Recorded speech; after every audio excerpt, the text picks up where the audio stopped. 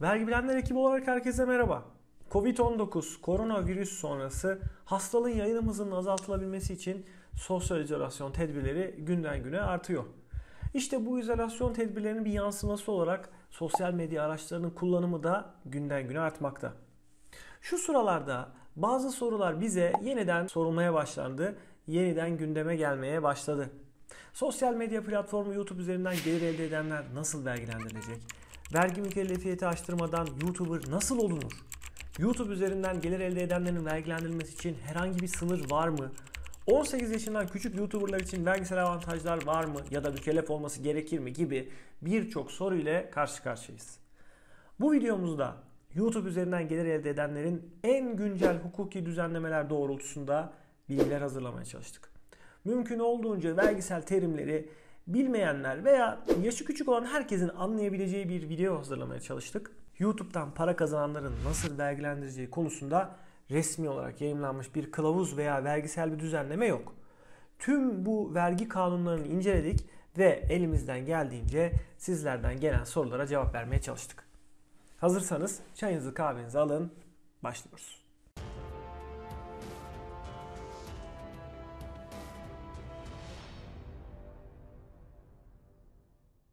YouTuber olarak çeşitli şekillerde gelir elde edebilirsiniz. Bu gelirler YouTube tarafından video izlenmeleri ile kazandığınız reklam gelirleri, yani Google Limited Island tarafından yapılan ödemeler, video yayın akışı içerisinde reklamını yapmak için çeşitli sponsor anlaşmaları yoluyla gelir elde edilmesi ki bunun da bir örneği, örneğin bir sponsorla anlaştınız ve o sponsorun reklamını videonuzun içerisinde yapıyorsunuz. Bu şekilde olabiliyor.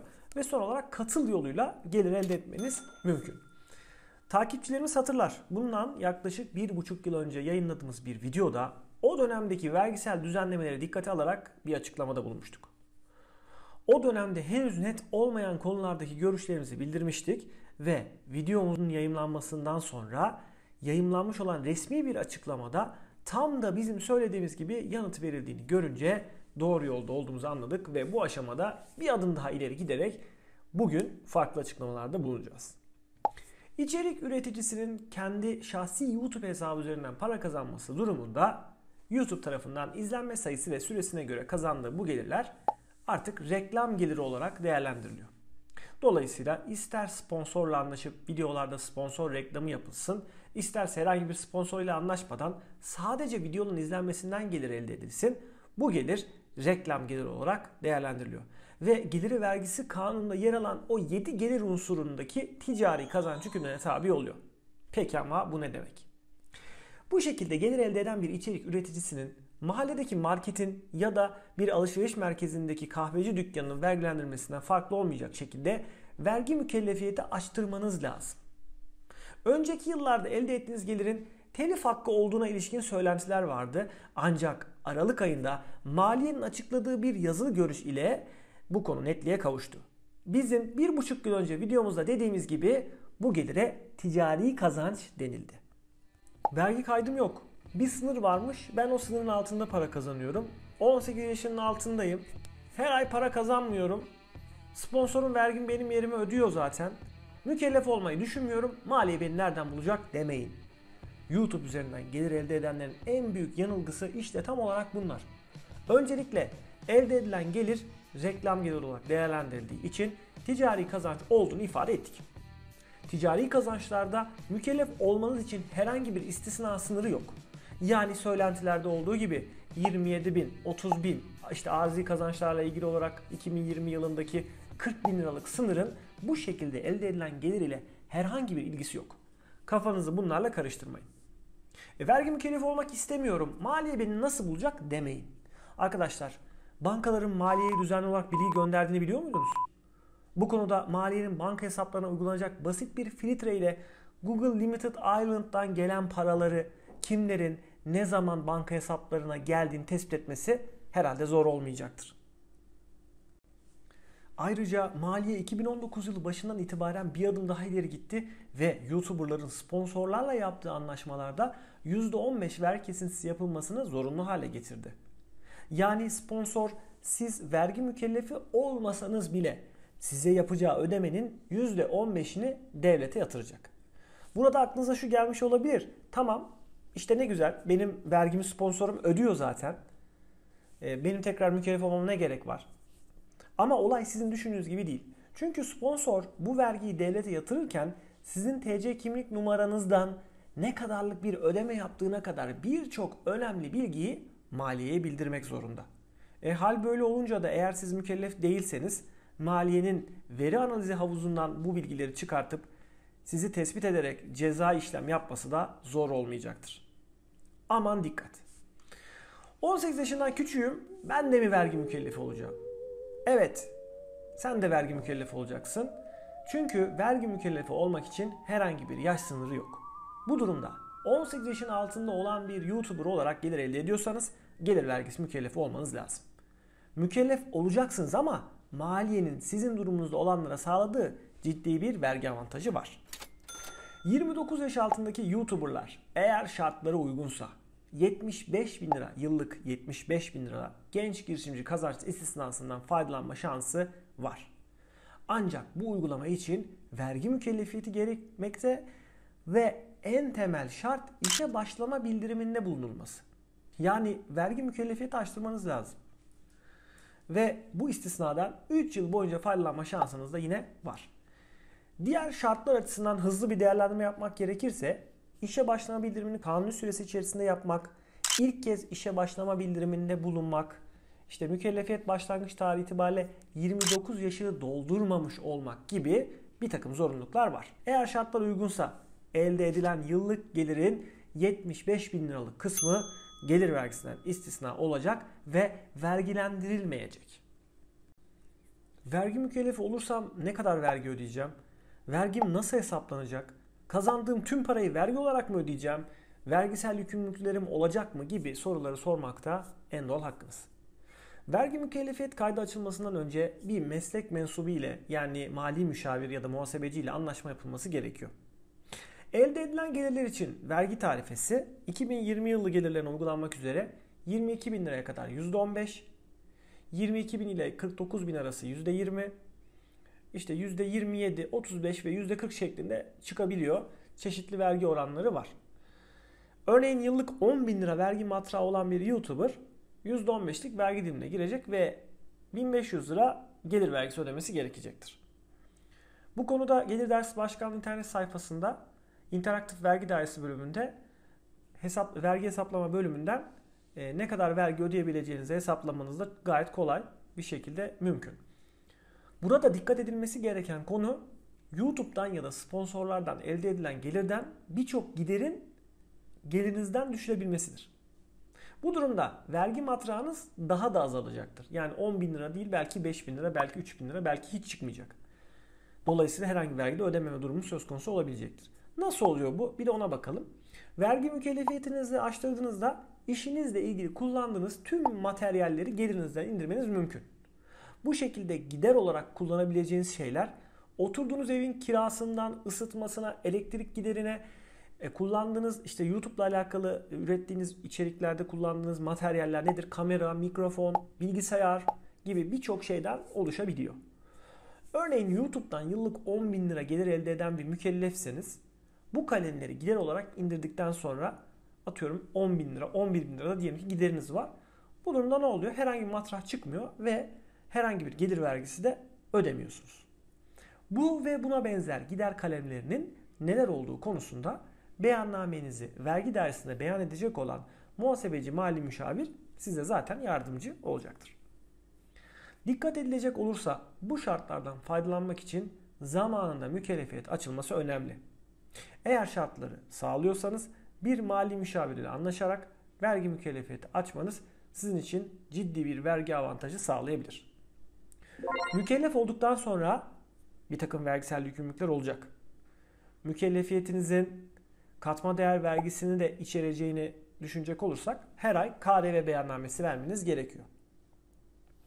Eğer tevkifata tabi yani kesintiye yani stopaja tabi bir işlemeniz, ödemeniz varsa işte ne olabilir? Kira ödemesi olabilir. İşte yanınızda biri çalışıyorsa onun ücret ödemesiyle alakalı olarak bir stopaj yapmanız gerekebilir. Bu durumda muhtasar mükellefiyeti de açılacak. Yani muhtasar beyanname mükellefiyetinin de açılması gerekecek. Ayrıca her yıl Mart ayında vereceğiniz yıllık gelir vergisi beyannamesi ve 4 ayda bir de geçici vergi beyannamesi vermeniz gerekiyor. Tabi bunları unutmayalım ki bunların içerisinde damga vergisi de çıkacağı için damga vergisi de ödenmesi gerekecek.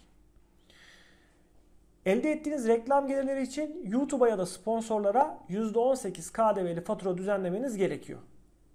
Bu da yine sizin yükümlülükleriniz arasında sayılmış. Faturanın düzenlenmesi konusunda yine bir profesyonelden, muhasebeciden, mali müşavirden yardım alabilirsiniz. Vergi mükellefi olmadan YouTuber olmak mümkün mü? Sorusunun yanıtı bizce evet. Ama çok önemli şartları var. İçerik üreticisi bir YouTuber olarak hesabınızın bir profesyonel sosyal medya ajansı şirketi tarafından yönetilmesi halinde mükellefiyet kaydı açtırmayabileceğinizi düşünüyoruz. Şöyle ki, ürettiğiniz içerikleri profesyonel bir sosyal medya ajansı şirketi ile anlaşarak ilgili şirketten telif hakkı ödemesi alınması halinde bu mümkün olabilecektir. Bu durumda elde ettiğiniz gelir artık reklam geliri ya da sponsorluk geliri değil, gelirin 7 unsurundan serbest meslek kazancı olarak değerlendirilecektir. İyi haber, telif hakkı ödemesi alan YouTuber'ların vergi mükellefiyeti açılmasına gerek olmadığıdır. Yani vergisel yükümlülüklerinizin olmayacağı. Peki bir sosyal medya yönetim ajansı şirketiyle telif hakkı sözleşmesi yaptım. Vergi hesaplanacak mı? Yani ben vergi ödeyecek miyim? Bir de bu sorunun cevabına bakalım. Telif hakkı geliri elde ederek serbest meslek kazanç istisnasından faydalanılması ve vergi mükellefiyeti açtırmayacak olmanız vergi vermeyeceğiniz anlamına gelmiyor arkadaşlar. Tamam sizin için gelir vergisi mükellefiyeti açılmıyor ama telif hakkı ödemesini yapan şirket sözleşmedeki tutarın %17'sini sizin adınıza gelir vergisi kesintisi yaparak vergi dairesine ödüyor arkadaşlar. Şöyle düşünün. Bir bankada işe başladınız. Ücretli olarak, maaşlı olarak orada çalışacağınızı varsayalım. Her ay aldığınız maaşınız için nasıl beyanname vermiyorsanız aynı şey. Banka maaşınızı öderken devlete kesinti yapıp size ödüyor. Burada da aynı mantık geçerli. Sosyal medya ajansı size telif hakkı ödemesi yaparken verginizi sizin adınıza devlete ödüyor. Dolayısıyla vergi ödemeniz var. Vergi ödenecek. Örneğin 2000 lira net telif ödemesi alacak olan bir YouTuber için brüt tutarı bunun 2409 lira 60 kuruş olacaktır ve 409 lira 60 kuruş yani %17'si bunun brüt tutarın %17'sidir için gelir vergisi stopajı hesaplanacak ve vergi dairesine yatırılacaktır. İşte bu süreci YouTuber adına vergi sorumlusu sıfatıyla telif ödemesini yapan şirket yönetecektir. Yani özetle şunu söylüyor. Siz YouTuber olarak e, herhangi bir şey yapmanıza gerek yok. Burada ilgili şirket size ödemeyi yaparken o aradaki kesintiyi yatır, e, kesiyor ve devlete yatırıyor. Size net tutarı veriyor. Yalnız işin içinde bir de KDV dolayı, e, olayı var. O önemli. Bu telif hakkı ödemesini alırken siz işin içinde bir de %18 KDV var. Ve bu %18'lik KDV yine ilgili reklam ajansı sizin adınıza devlete yatırması gerekecek. Onunla ilgili de KDV genel uygulama tebliğinin içerisinde bir takım açıklamalar yapılmış.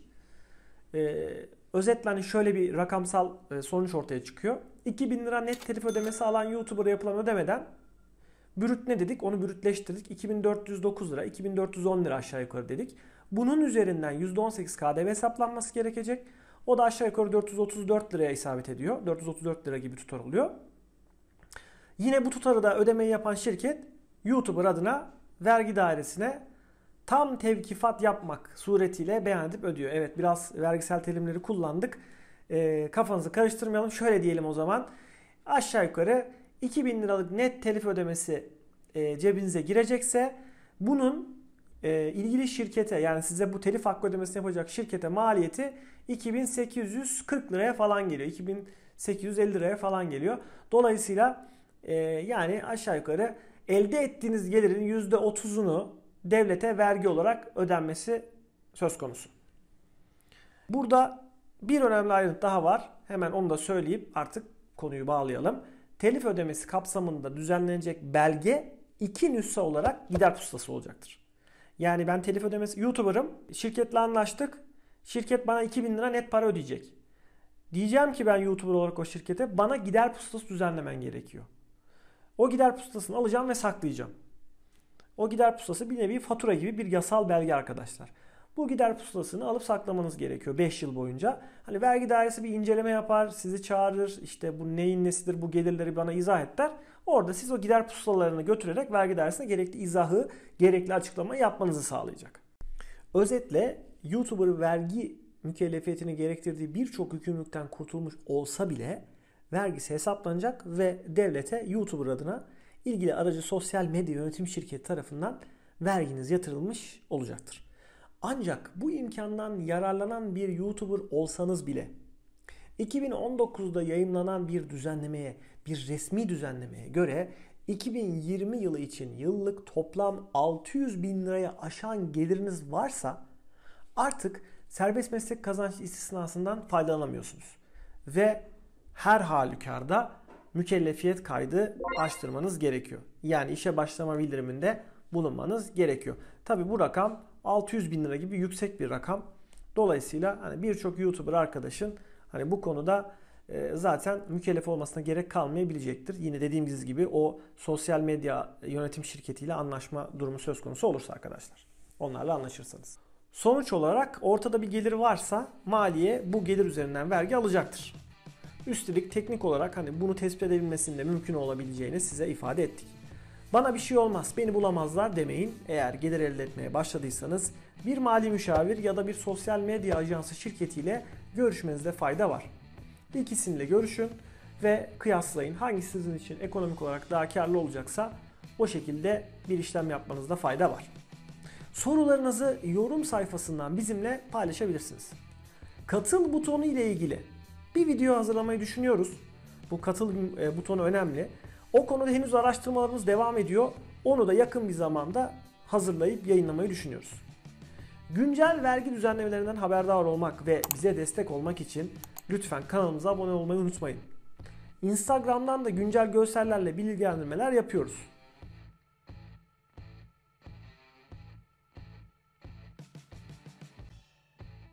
Hayat eve sığar. Bir başka videoda görüşmek üzere. Şimdilik hoşçakalın.